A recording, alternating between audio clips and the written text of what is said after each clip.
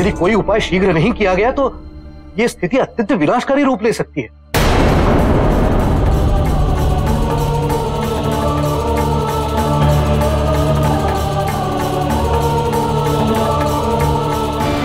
मुझे पुनः मोहिनी रूप में अवतरित होना पड़ेगा।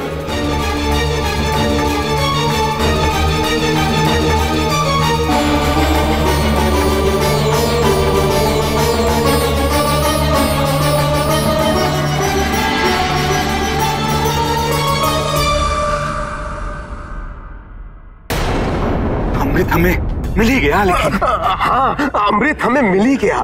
पितामा का सुझाव उचित था जो सही समय पर हमने ये कुंभ उठा लिया। हमें यहाँ पे देवता लोग ढूंढते आए इससे पहले कि हम इस अमृत को पी करके अमृत तो प्राप्त कर लें।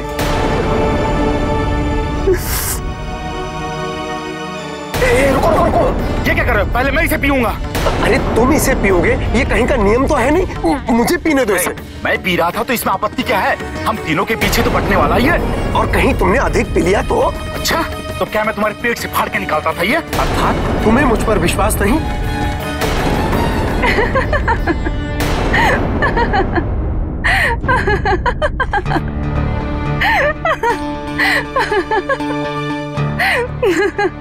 इस वन में किसी स्त्री की हँसी सुनाई पड़ना?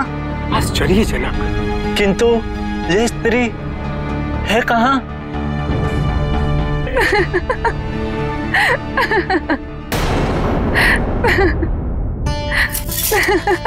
हे सुंदरी, कौन हो तुम? कहाँ से आई हो तुम?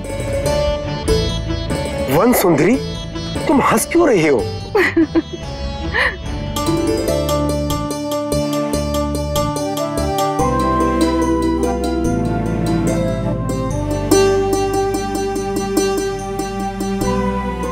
निकट ही अपने नृत्य का अभ्यास कर रही थी।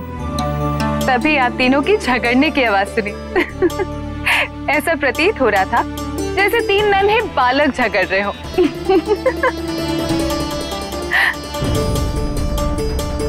अब, ये ये कलश में क्या है?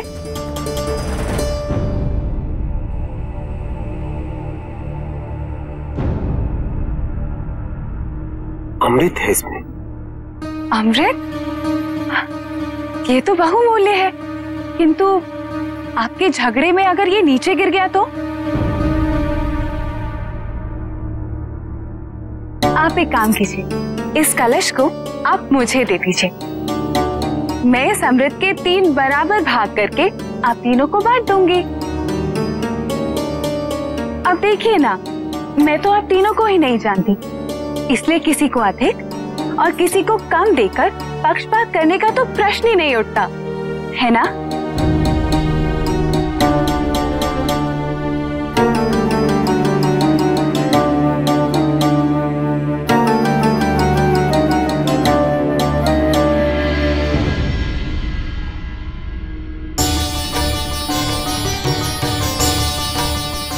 अब परंतु अगर आप तीनों ही अमृत पी जाएँगे तो बाकी असुरों का क्या होगा? क्या आप नहीं चाहते कि प्रत्येक असुर इस अमृत का लाभ उठा सके?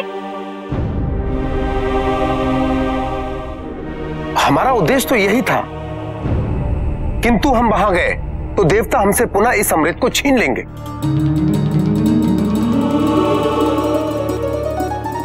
परंतु ये तो अत्यधिक है। अगर आप देवताओं के साथ इसे बांट भी लेंगे तब भी ये कम नहीं होगा। नहीं नहीं। हम उन देवताओं के साथ नहीं बांटेंगे। एक प्रश्न पूछूँ?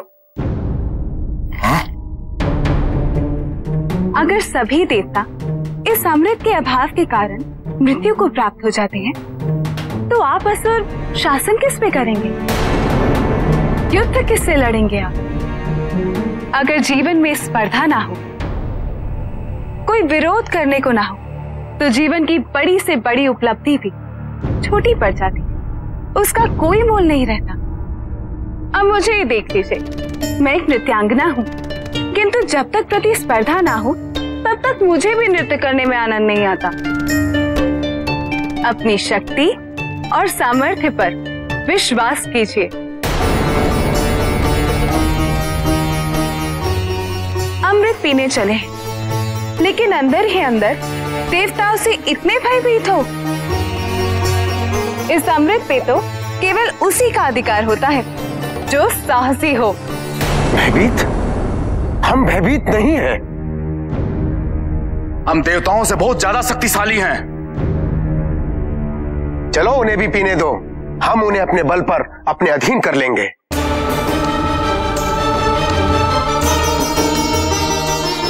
तो चले।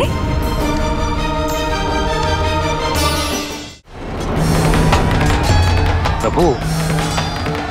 आज तो देवता और असुरों में कोई अंतर ही पता नहीं चल रहा।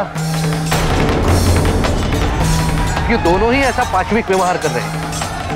नारायण नारायण। ऐसी हिंसा से प्राप्त विजय पराजय के समान होता है नारद। क्योंकि इसमें बाहरी रूप से हम विजय तो पा लेते किंतु मान मर्यादा सब कुछ मिलाकर हम अपने आप को खो देते हैं नारद। प्रतीत होता है कि आप केवल नारायण ही संभाल सकते हैं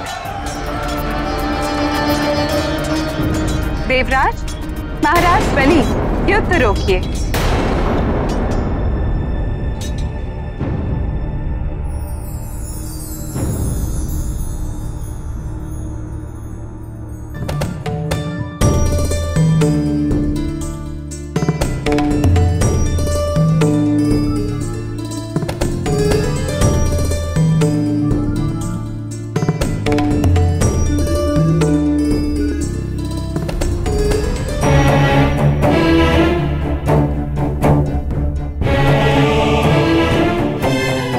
कलश तुम्हारे पास कहाँ से आया?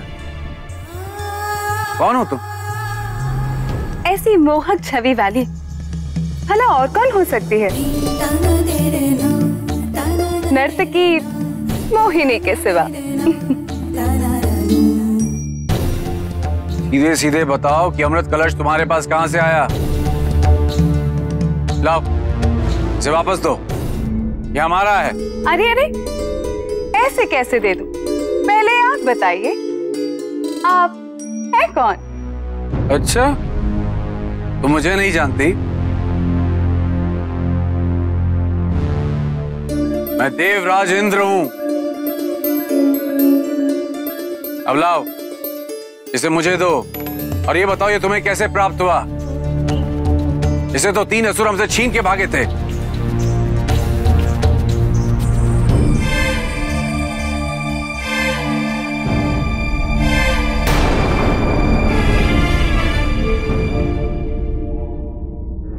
अच्छा। तो तुम इनके साथ हो। अरे नहीं नहीं इंद्रदेव। ऐसी बात नहीं है। ये कलश तो मैं इनसे मांग कर लाई हूँ। ताकि आप सभी इस अमृत का बराबर बराबर मात्रा में सेवन कर सके।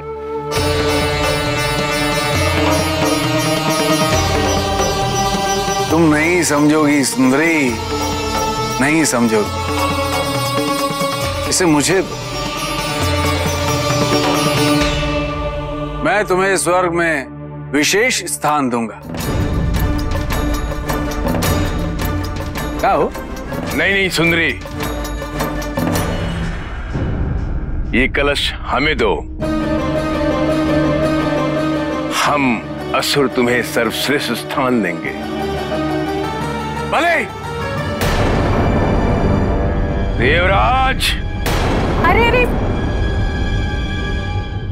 कृपया झगड़िए नहीं। क्यों न झगड़े? इस अमृत कलश पर हम असुरों का भी अधिकार है। ये हमारे लिए है। हमारा अधिकार है इस पर तो ठीक है। जिस कारणवश आप झगड़ रहे हैं क्यों ना उस कारण का अंत ही कर दो?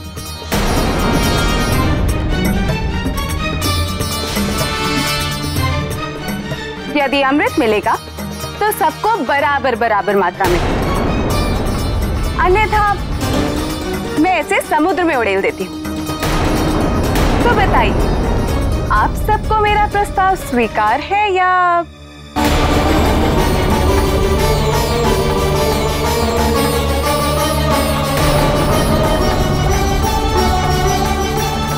शीघ्र बताइए।